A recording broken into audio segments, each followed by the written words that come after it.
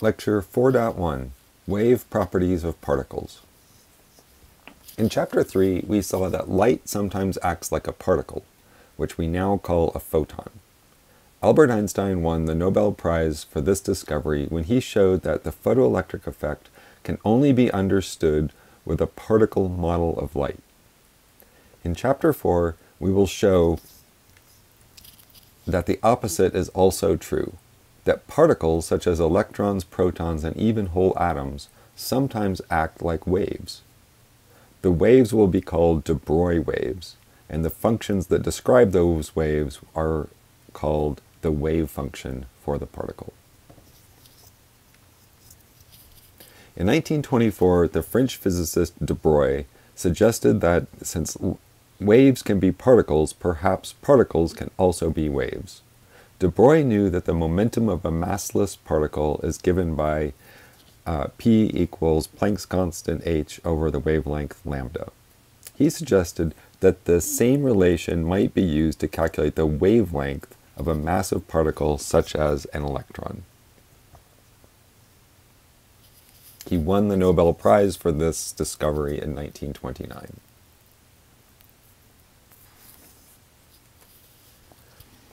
This wavelength, now called the de Broglie wavelength, is simply Planck's constant divided by the particle's momentum p. Notice that the larger the momentum the particle has, the shorter its de Broglie wavelength. We might imagine the electron represented by a little wave packet, where the wavelength is approximately the distance between successive crests of the wave.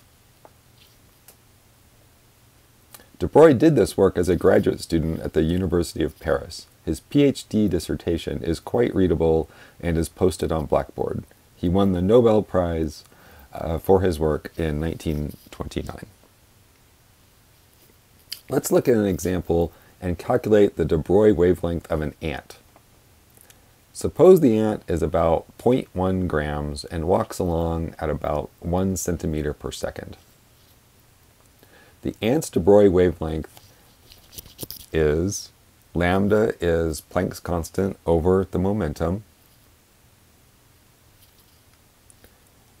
Plugging in values of h and mass and velocity gives a de Broglie wavelength of about 6.626 times 10 to the negative 28 meters.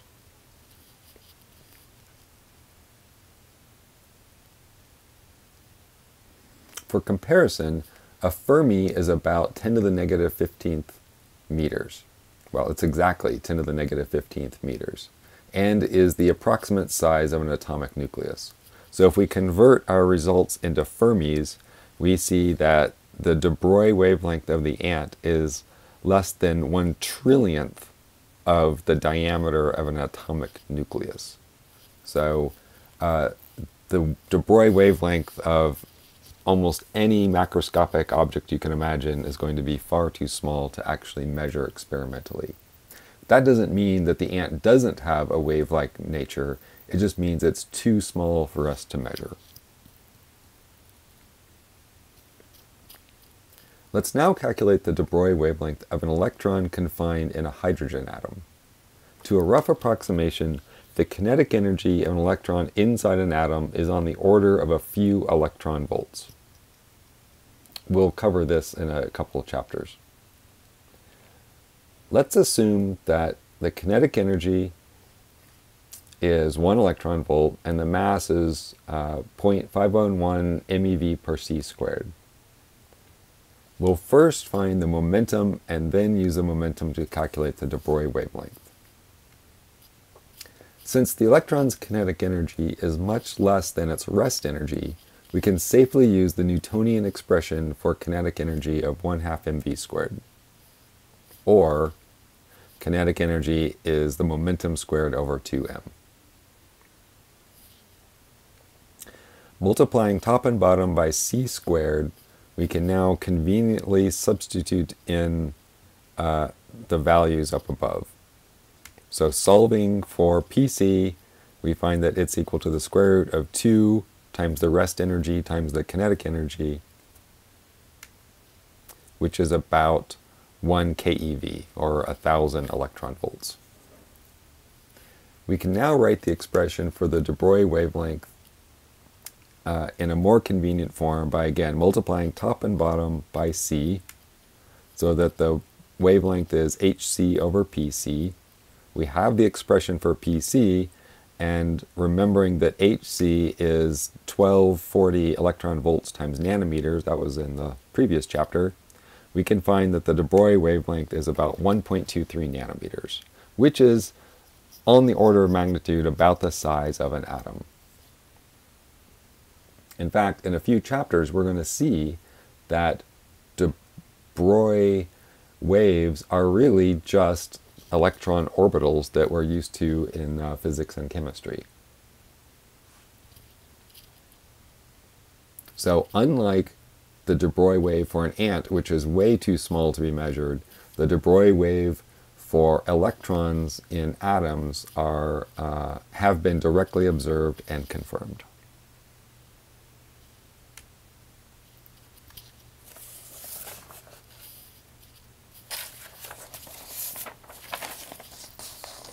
The simplest type of de Broglie wave is an infinite sinusoidal traveling wave. We define the wave through a wave function using the Greek letter psi. So as we see, psi will depend on both the space x and time t. The constants k and omega in the sine function are the wave number and the angular frequency of the wave.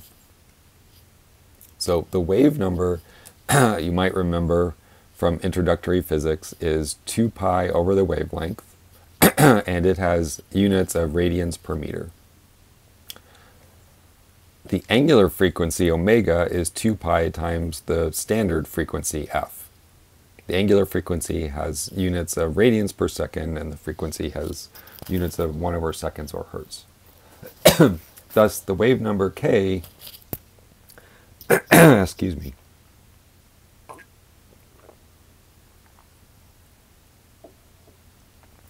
Thus, the wave number k is telling us something about the spatial behavior of the wave, and the angular frequency omega is telling us something about how the wave behaves in time.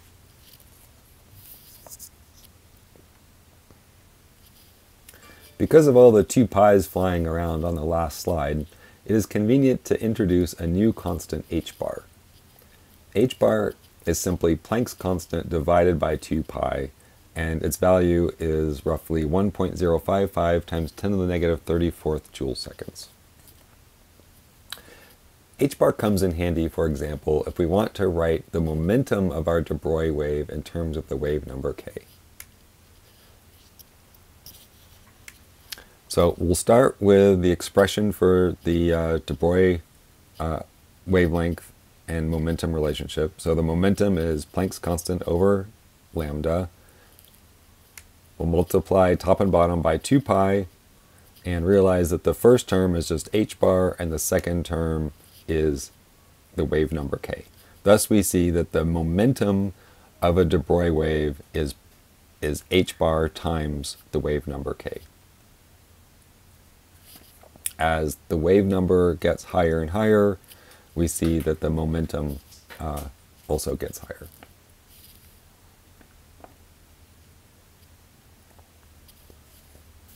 We've seen that the wavelength or the wave number of the de Broglie wave tells us the wave's momentum. But what about the angular frequency, omega, of the wave? What does it tell us?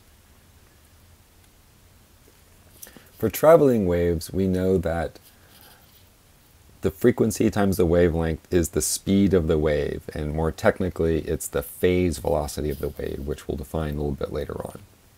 Unfortunately, we don't know what the speed of a de Broglie wave is for a particle, so we can't really use this expression. Instead, we will um, use the expression for massless photon. So even though we're applying this to a massive particle like an electron, we're going to use the expression that we derived earlier for massless protons like a massless particles like a photon.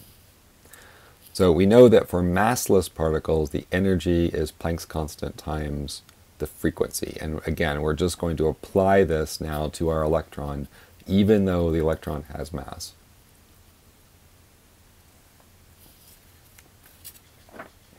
We can rewrite this expression in terms of the angular frequency omega by making appropriate substitutions.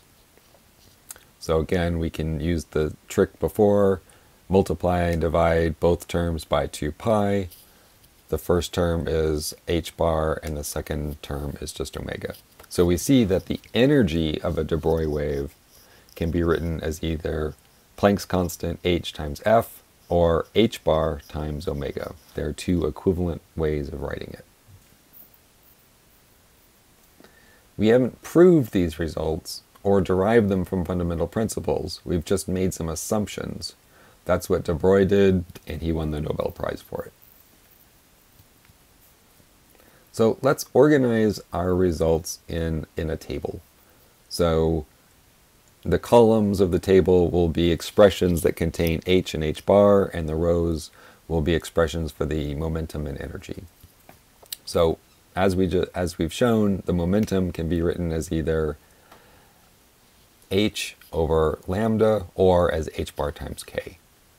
That's the momentum of our de Broglie wave. The energy of a de Broglie wave can be written as either h times f, that's Planck's constant times the frequency, or h bar times omega.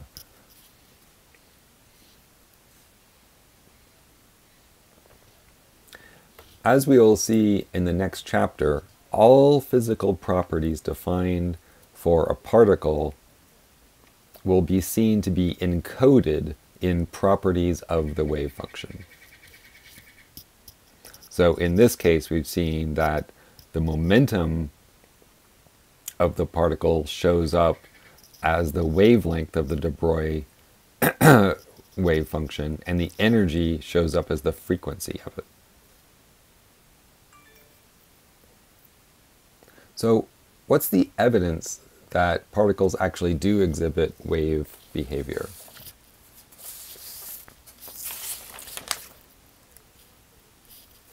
Just as X-rays produce diffraction patterns when they are shot through a crystals, electrons can also be diffracted by crystals if the de Broglie wavelength of the electron is comparable to the spacing of the atoms in the crystal lattice. The image on the left-hand side shows a diffraction pattern of electrons through the crystal.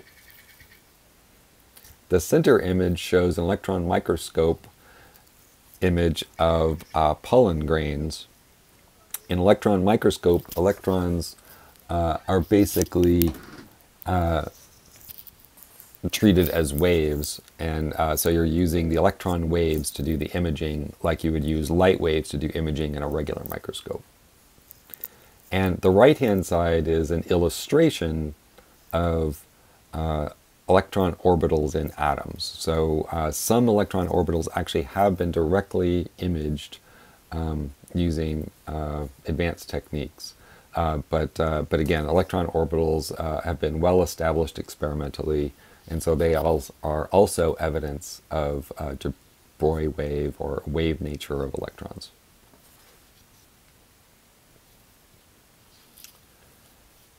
So uh, in the last chapter, we saw that Young's famous double slit experiment demonstrated that light is a wave. It turns out that the double slit experiment can also be performed using electrons to show that electrons are also waves. The diagram on the left shows an electron gun shooting electrons through two narrowly spaced slits. A fluorescent screen is placed behind the slits so that when the electron hits it, a flash of light will be emitted. The flash is then recorded by a piece of photographic film directly behind it.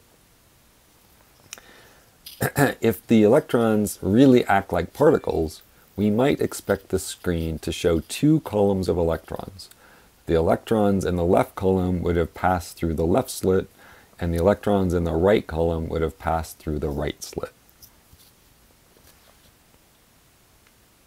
So Hitachi or Hitachi performed this experiment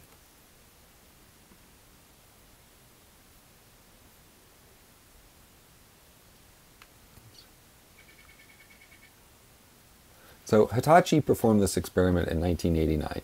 Here's a video showing the results of their actual experiment. Electrons pass through the slits one at a time and show up as flashes of light on the screen. You can see the tiny dots that are appearing correspond to individual electrons reaching the screen. At first, the electrons seem to appear at random across the screen. But as the experiments run, but as the experiment runs and more and more electrons are observed, an interference pattern slowly comes into view. You see alternating patterns of dense and sparse columns.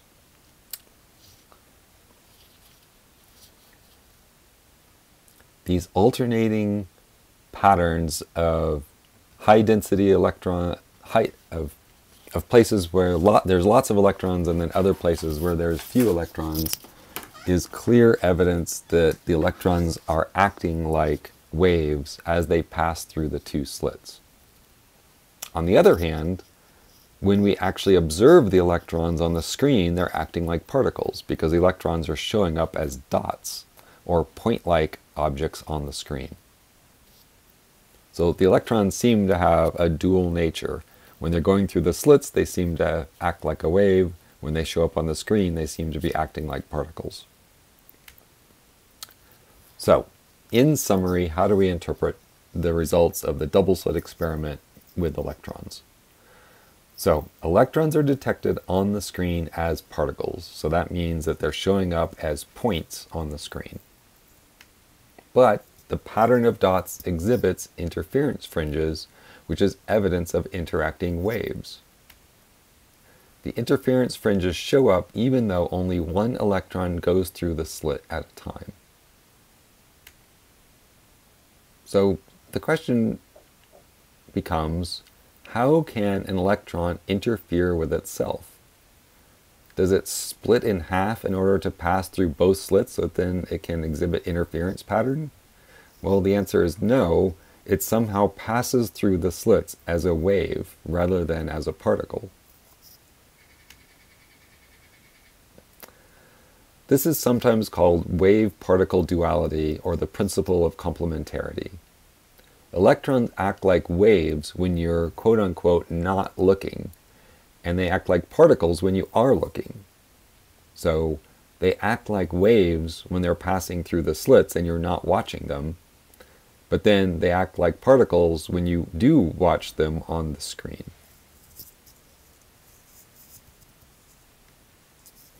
If you watch the electron pass through a given slit, so if you put um, some detector right near one of the slits so that you can measure the electron when it goes through one slit or another, then the interference pattern disappears. Let's say that again. If you can tell which slit the electron goes through, then you're forcing it to act like a particle the whole time, and the wave nature of the electron disappears and it just acts like a particle. You don't see the interference pattern on the screen. But if you don't watch the slit, then the electron wants to behave like a wave. It passes through both slits somehow, interferes with itself, and the interference pattern on the screen reemerges. So what are they waves of? Well, the physicist Max Born suggested that de Broglie waves are mathematical objects that let one calculate the probability of where the particle will be found. So in some sense one could say they're waves of probability. The Copenhagen interpretation of the wave function says that particles do not have definite properties prior to being measured. Rather, they are in a superposition of many possible states. When one makes a measurement, the wave function collapses and the particle makes up its mind about what its uh, properties are. We will discuss this in more detail later in the semester. And a final note, we should note that it's not just electrons that exhibit this wave-particle duality. Neutrons have been has been demonstrated to exhibit wave-like nature. This uh, image shows the interference patterns of uh, neutrons uh, going through a double slit experiment. helium atoms, so entire atoms also exhibit a wave-like nature when they are not observed. And, and the largest object known to date is uh, the Buckminster fullerene molecule, or C60. So, and, so a molecule containing 60 atoms has, uh, has demonstrated this wave-like phenomenon in some experiments. One, of course, could extrapolate this to macroscopic objects and ask what it would mean for a macroscopic object such as people to exhibit a wave-like nature. All right, up next, properties of wave functions.